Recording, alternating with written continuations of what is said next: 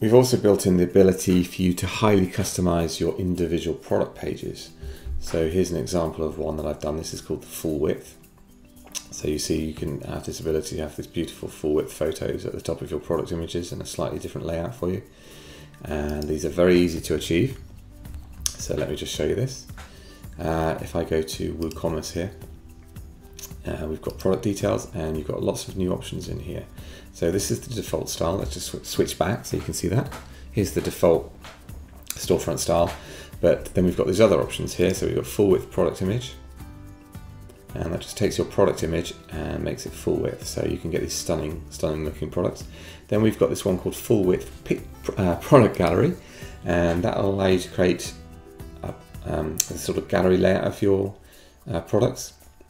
So if you've got two photos, it will show two. If you've got four uh, in your gallery, then it will show four products. So you can create these beautiful grid layouts for you. And then we've also got this final one, which is very stunning, called Hero Product. And that will just take your product image and make that the background, a big hero uh, background for you.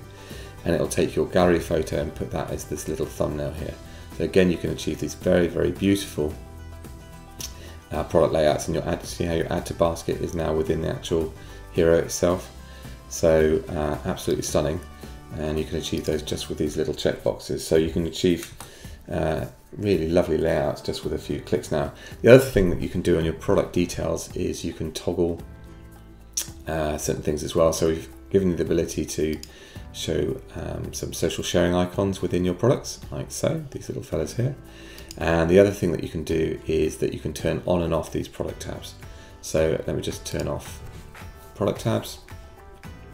So you see we've got rid of those tabs there, just turn those back on. Uh, and then the other thing that you can do is you can hide your related products. You see these related products coming in here. You can just turn those on and off.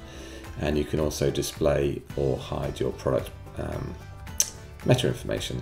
So that's a look at how you can customize individual product pages uh, with Storefront Pro.